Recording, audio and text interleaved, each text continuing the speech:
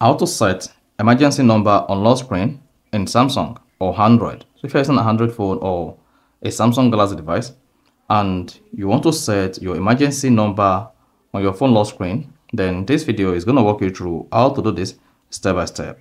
So the end of this, you found this often informative, please don't forget to like and then subscribe. Now to set emergency number on lock screen in Samsung, what you just need to do is go ahead and open the settings app on your phone. On the settings page, you just need to scroll down the page, click on safety and emergency, then go ahead and tap emergency contact. Then here, emergency contact are people you trust to help you in an emergency. They will be contacted if you start emergency sharing. You can also show them on the lock screen for quick access in an emergency. So go ahead and tap add emergency contact. Then here, add your emergency contact. Then click on done. Once you add emergency contact, you can add more emergency contacts.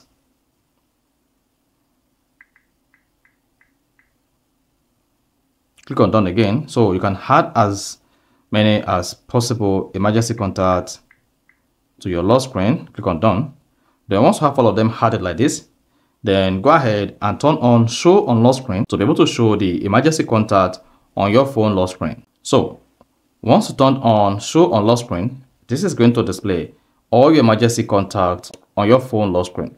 Now when next your phone screen is locked and you want to access emergency contact, all you just need to do is while the screen is locked, just press it once, swipe up as if you want to type in your PIN, just click on emergency call. Then here you have access to all your emergency contacts on your phone. Then you can go ahead and click on any of the emergency contacts you want to call. Then you should say make an emergency call. Click on OK. And then you're good to go. See that? So this is basically how to set emergency number on lock screen in Samsung. So if you found this offer informative, please don't forget to like and then subscribe.